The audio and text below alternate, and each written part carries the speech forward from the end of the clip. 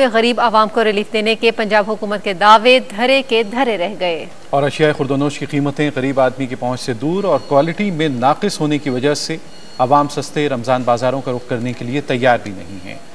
मजीद तफसर बताएँगे शेखुपुरा से मोहम्मद इस्लाम गाजी अपनी इस रिपोर्ट में। पंजाब हुकूमत की तरफ़ से अवाम को रिलीफ देने के लिए पंजाब के तमाम अजला में सस्ते रमज़ान बाज़ार लगाए गए हैं, जिनके मतलब हुकूमत का दावा है कि इन रमज़ान बाजारों में जरूरियात ज़िंदगी की तमाम अशिया म्यारी और सस्ते दामों दस्तियाब हैं। मगर हकैक हुकूमती दामों के बरक्स हैं और रमज़ान बाजारों में रखी गई अशिया की कीमतें आम आदमी की पहुँच से दूर और इंतहाई गैर म्यारी हैं। मैं जी इतने रमज़ान बाज़ार सारिया दुकाना चक्कर लाया लेकिन इतों के रेट और मार्केट के रेट एक परसेंट भी राहत नहीं। और जी इतने एशिया ने भी कोई नियम मकूल नहीं और ये बाज़ार काफ़ी रिलीफ मिल रहा है। माह रमज़ान मुबारक में गरीब आदमी इन रमज़ान बाजारों में सस्ता आटा चीनी घी फल सब्ज़ियाँ वगैरह लेने के लिए आता है तो तब इसे इंतजामिया के दावों का इलम होता है। ये कोई सस्ता बाज़ार नहीं है ये महँगा बाज़ार है इतने बिल्कुल कोई सौदे सस्ते नहीं है।